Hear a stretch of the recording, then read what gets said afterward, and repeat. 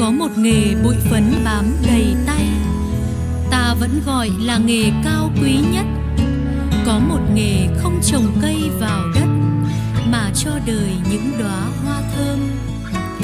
Giữa bộn bề của cuộc sống, những người thầy vẫn cần mẫn, lặng lẽ chờ những chuyến đò học sinh tới bến bờ tri thức.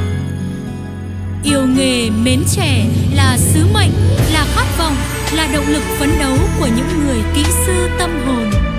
Tôi tự hào, nghề giáo tôi yêu.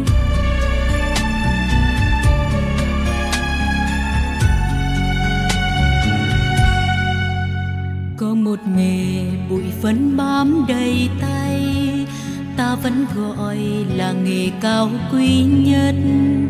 Có một nghề không trồng cây vào đất mà cho đời những đóa hoa thơm.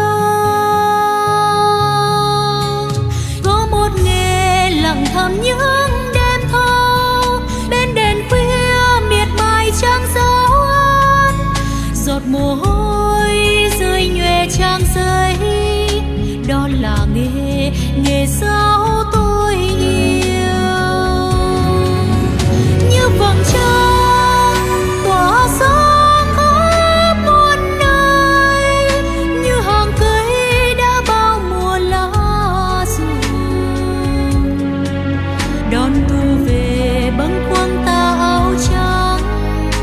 Heavy.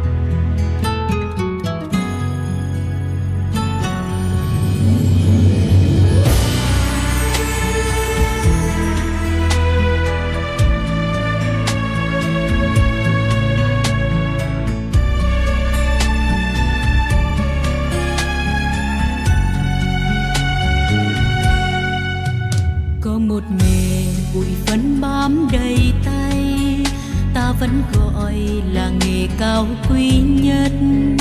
Có một nghề không trồng cây vào đất, mà cho đời những đóa hoa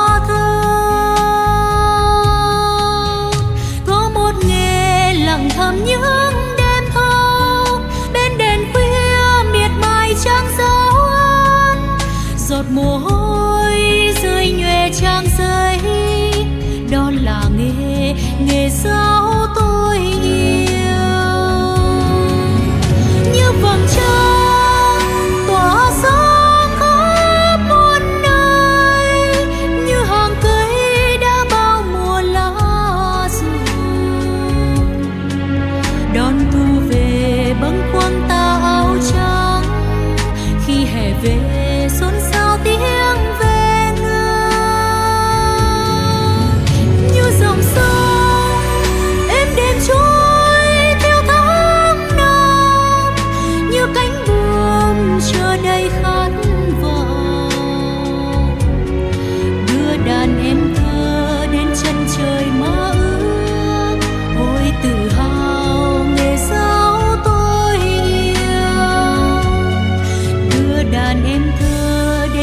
trời mơ